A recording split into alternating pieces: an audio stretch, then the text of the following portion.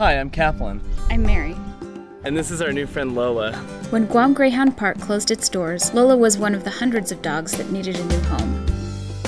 Every year, thousands of animals are brought to the Yigo Animal Shelter because there are way more pets than there are loving homes. If you're looking for a new pet, please consider adoption.